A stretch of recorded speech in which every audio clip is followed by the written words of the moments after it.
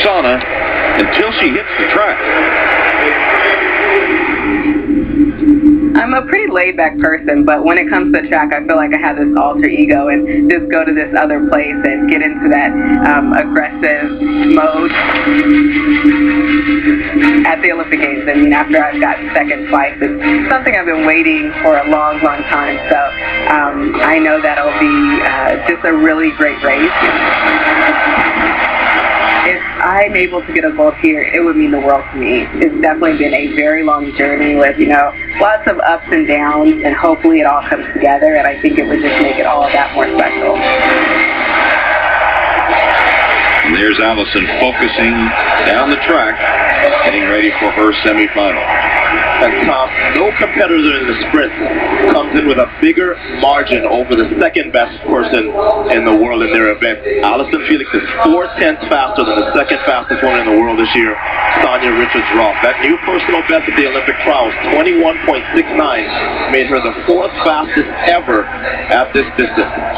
And between herself and Veronica Campbell-Brown, they have won every global championship in this event, Olympic and World, since 2004. Veronica Campbell Brown has already made the final. Now it's Allyson's turn to try to do the same. Allyson Felix will be in lane four in this semifinal heat.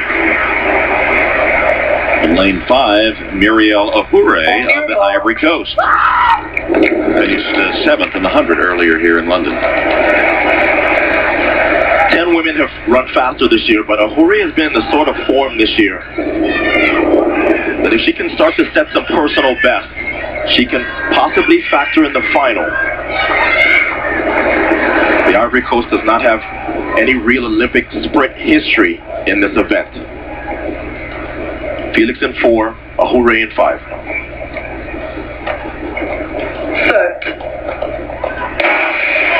And off to run the curve in this 200 meter semifinal. Ahouré got away well, and Allyson Felix now starting to catch up. And as they turn for home, it's Allyson Felix in front. Felix is in front with Ahouré second. Here's Allyson. She's opened up quite a margin and will close to the finish line to win her heat with a Ahouré second. Tom, I don't think there's any doubt that Allyson Felix will start in the 200 meter Olympic final that she's just qualified for as a huge favorite. Because despite this 22-31, look at her start. There she is. She's in lane four. Having a Ahouré to her outside is a pretty good dress rehearsal.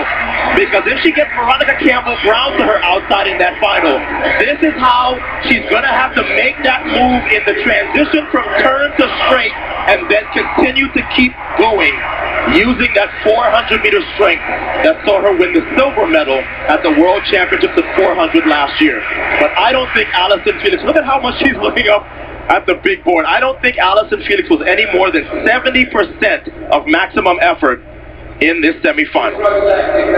Now let's go down to Lewis with Allyson Felix. Well, Allyson, when you came to Olympic Stadium tonight, what was your race plan as you attacked this semifinal?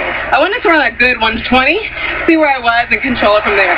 Can you help people understand how hard it is to wait all day to come out here for that short of an effort? Oh my gosh, it's so hard. I'm sitting in my room, I'm watching Scandal, I'm just trying to hang out, but it's so uh, rewarding when you do come out here. Now, when you do walk out the next time, you'll be the heavy favorite for the gold medal. How do you deal with that in your head as you prepare for that run? For me, I'm just focused. You know, nothing is guaranteed, and you just have to get through everything. thanks, Alan. Hey, thanks, guys. So Allyson is focused and ready for the final, winning her heat in 22.31. Ahouré also qualifies. And up next, Sanya Richards-Ross, already the gold medalist in the 400 meters. She won the title on Sunday. Now back to try to double and take the 200 meters as well. She is the second fastest woman in the world this year at this distance. Only Allyson Felix has run faster. Acknowledging the cheers. Also in the seat is Shelly Ann Fraser Pryce of Jamaica, the London 100 meter winner, back-to-back gold medals at 100 meters. And this is her first time competing in the 200 meters at a global championship. This is an event that she has said she hates. But she does have the third fastest time in the world. And I can tell you, Tom, I do not expect her to do anything other than try to go for broke on the turn and hang on because she will respect the strength of the quarter mile Olympic champion, Sanya Richards Ross, to her outside. Here are the lane assignments. Shelly Ann Fraser Pryce in lane four, Sanya Richards Ross in lane five. So already in this heat, already uh, two gold medalists from London. Shelly Ann Fraser Pryce in the 100, Sanya Richards Ross in the 400. And There are the gold medalists side by side. And now they meet in the middle. The 400 meter winner and the 100 meter winner at 200. And I can tell you, these two ladies are sort of unknown quantities. Sanya Richards Ross said that she got to the final at the Olympic trials and was very tired. I've already told you how much Shelly Ann Fraser Pryce says she hates this event. But they've got to get to the final here.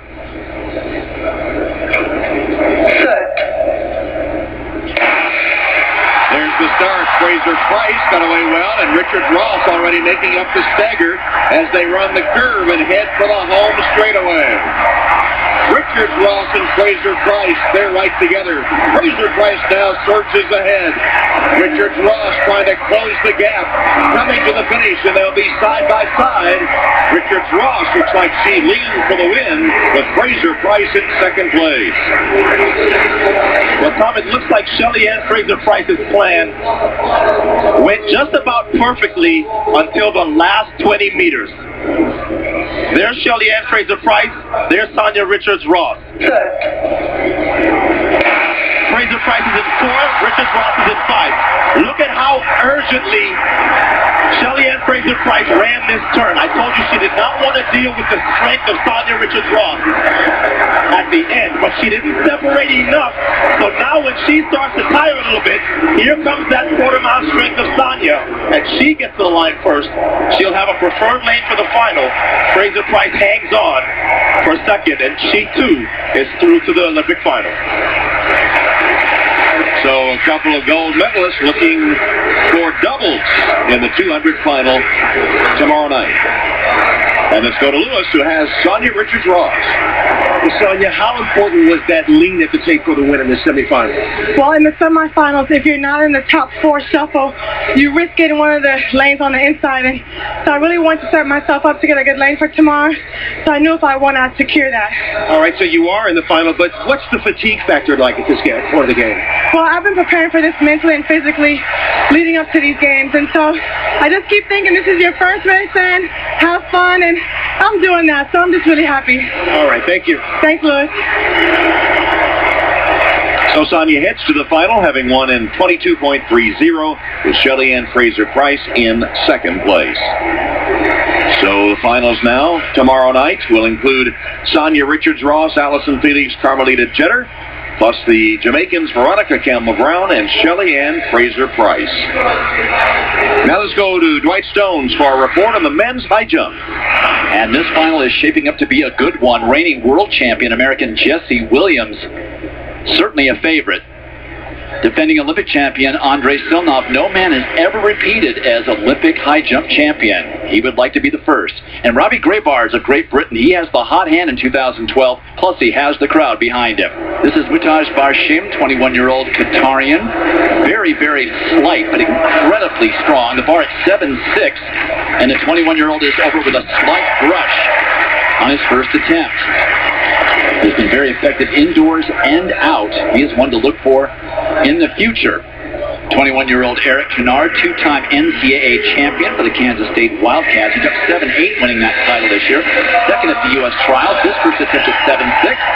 And with a slight brush, he's over it. And he's talking to the crossbar now. Believe me, Erik, that thing has a mind of its own. Don't make it mad. There's another NCAA champion twice for Indiana University, Derek Drouin. He had a severe ankle injury last year that ended his season, but has come back very, very strong. 22 years old. First attempt at 7-6 and a huge clearance for the Canadian. Rick Robbie Grabarz has had a dream season in 2012. Seven personal bests. He really got serious because the games were in his own country. 2012 European champion.